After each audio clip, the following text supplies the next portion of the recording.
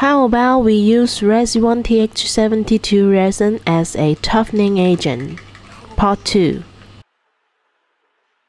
In the last video, we tested M70 resin mixed with TH72 resin adding 20% and 40% TH72 resin respectively for comparison. You can see our last video on the homepage. In this phase, we will continue to test the mixture of other rigid resins and TH72 resin. Those who have used our TH72 resin know that it's a durable resin that can withstand bending and is not easy to break. This is a kind of natural plant-based resin which has the same mechanical properties as most rigid resins on the market.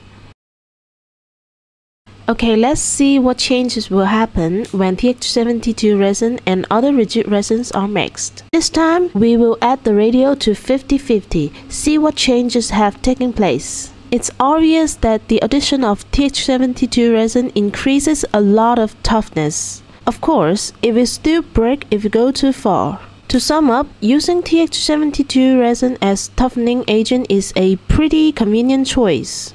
The proportion can be added according to individual needs. The recommended proportion is not less than or equal to 50%.